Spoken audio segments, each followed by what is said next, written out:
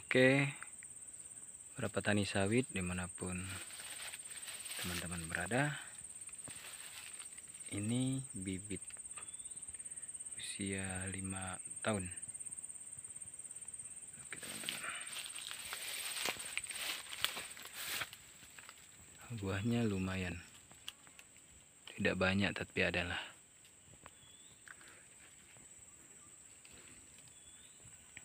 batangnya kurang lebih satu meter lebih teman-teman. Dia punya buah itu ya bolehlah. Tidak malu-maluin amat lah.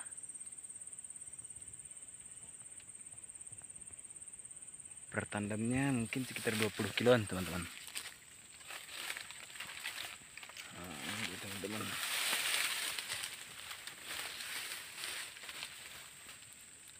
lahannya juga tidak terlalu besar lah teman-teman. Spesial teman-teman. Ayo ikut ikut terus teman-teman. Sana masih kecil-kecil teman-teman. Tidak teman-teman.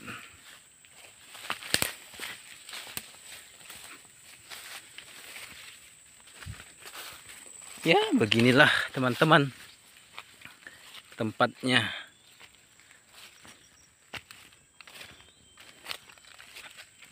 itu teman-teman.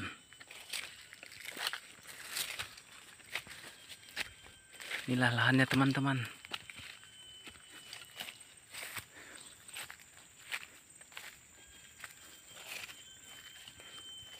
Lahannya tidak seluas punya orang lah teman-teman. Tapi bolehlah. Itu lagi teman-teman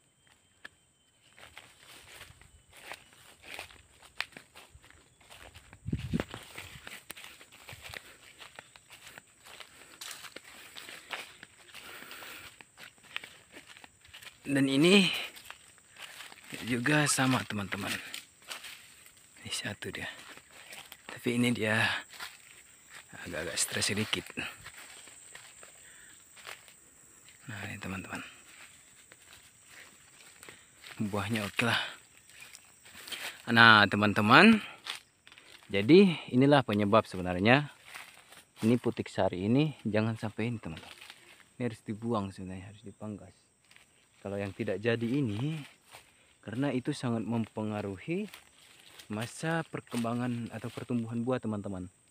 Oke itu ketika sudah mati itu harus dibuang agar apa namanya hama-hama itu tidak menempel di apanya di pucuknya itu teman-teman. Jadi buang saja itu dipangkas kalau apa supaya tidak mengganggu masa pertumbuhan buah ini ini ini teman-teman nah seperti buah yang ini yang kecil ini yang kecil ini.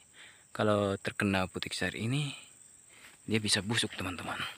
Dia tidak jadi nah itu yang ini teman-teman yang ini. Nah, yang ini dibuang saya teman-teman ya. Nah, yang hitam-hitam ini ini dibuang saja ini. Karena ini sangat apa mengganggu masa masa sistem pertumbuhan buah kelapa sawit dan ini juga teman-teman sebenarnya ini masih salah. Ini sebenarnya tidak boleh satu ini. Tapi ini salah teman-teman. Dia setidaknya dua atau tiga. Itu fungsinya supaya buahnya itu besar teman-teman. Kalau seperti ini dia akan stres. Masa pertumbuhannya tidak baik teman-teman ya. Oke teman-teman sampai di sini dulu videonya ya. Bagi teman-teman yang suka video ini. Jangan lupa di like comment and di subscribe ya teman-teman ya. Karena subscribe itu gratis. Oke terima kasih.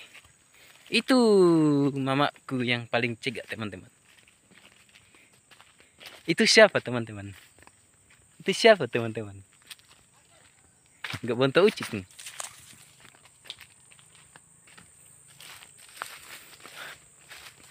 Nah, ternyata di situ ada orang teman-teman.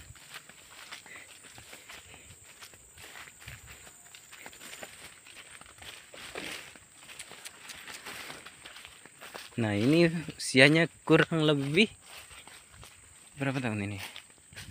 Empat tahun teman-teman. Ini empat tahun. Nah Ini bentuk ucing teman-teman.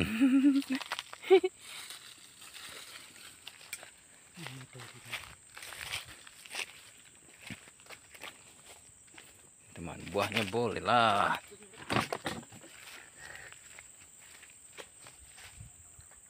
Teman-teman sampai sampai sana banyak teman-teman.